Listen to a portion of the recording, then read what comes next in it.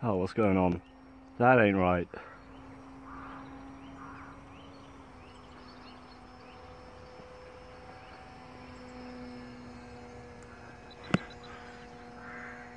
Uh, might have been that trim I set in.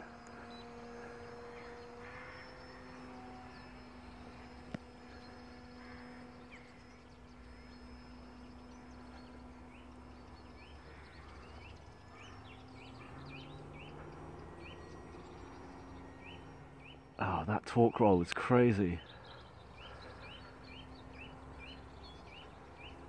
I'm glad there's no wind today.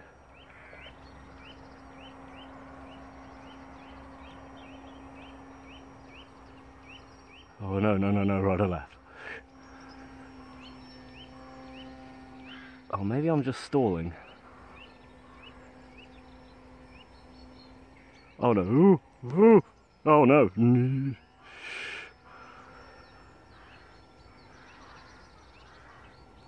Stall, come back, come back. Crap.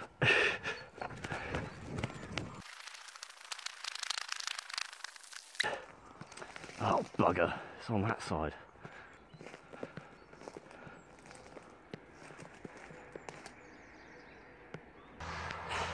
Well, that was a pain in the ass to crawl through. She only just went over the hedge. It'll be good to see. Let's see, wings all snapped up. And, uh,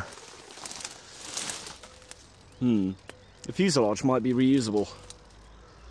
But we will have to see. Amazed how well those wings held up until this point though. And landing gear still intact. Built the toughest landing gear in the world. Right, time to get this one over that hedge somehow. And back to the shop with it. At least I got a minute of flight this time. It's typical, I landed there. Could have landed there. There's the field. That's where I landed.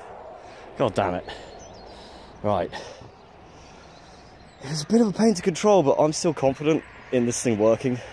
So I'm gonna redo things, redo the fuselage, actually have another pop at this.